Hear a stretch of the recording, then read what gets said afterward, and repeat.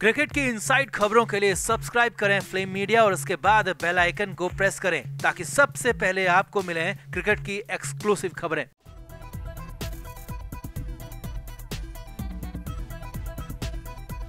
Team India को Adelaide में भले ही जीत मिली, लेकिन पर्थ में मिली करारी हार ने कई सवाल खड़े कर दिए हैं। टीम इंडिया में एक नहीं, कई खामियाँ दिखी और इसीलिए अब मेलबर्न में होने वाले तीसरे टेस्ट मैच में टीम में बहुत बड़े बदलाव नज़र आएँगे। या कहें कि पूरी टीम ही बदली बदली नज़र आएगी और इसका साफ़ साफ़ इशारा कप्तान विराट कोहली ने दे दिया। तो आप भी तीसरे टेस्ट मैच की टीम पर अपनी राय कमेंट करके ज़रूर दें। मेलबर्न में सबसे पहले ओपनिंग जोड़ी पर ही हथौड़ा चलेगा। उम्मीद थी कि पृथ्वी शॉ फिट हो जाएँगे, लेकिन अब वो पूरी तरह टेस्ट सीरीज़ से बाहर हो गए लिहाजा मयंक अग्रवाल को भारत से बुलाया गया है।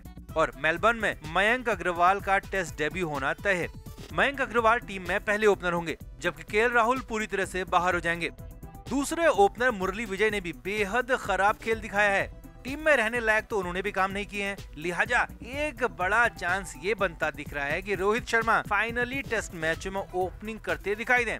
जी हाँ जैसे धोनी ने वनडे मैचों में रोहित से ओपनिंग कराई थी, वैसे ही विराट कोहली टेस्ट मैचों में रोहित शर्मा से ओपनिंग करा सकते हैं, जो हिटमैन के फैंस के लिए बड़ी खुशखबरी होगी। और मयंक और रोहित की फ्रेश जोड़ी मेलबर्न में नज़र आएगी।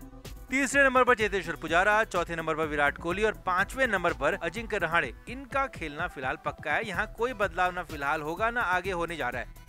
अब बात करते हैं छठे नंबर की तो यहाँ पर हार्दिक पांड्या की बड़ी एंट्री होने जा रही है। पांड्या पूरी तरह फिट होकर ऑस्ट्रेलिया पहुँच चुके हैं और उन्हें छठे नंबर पर खिलाया जाएगा, इतना तय हो चुका है, जबकि हनुमा विहारी को बाहर बैठना होगा।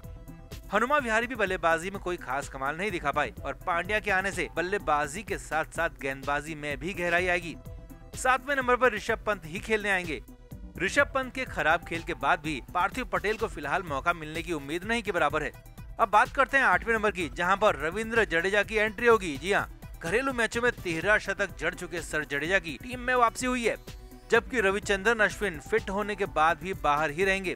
जडेजा अपनी फिरकी से कंगारू गेंदबाजों को नचाने का भी मादा रखते हैं, यानी इस बार टीम इंडिया की बैटिंग आठवें नंबर तक होगी और इसके बाद तीन तेज गेंदबाज खेलेंगे, जिसमें मोहम्मद शमी, ईशांत शर्मा, जसप्रीत बुमराह को ही फिर से मौका मिलेगा।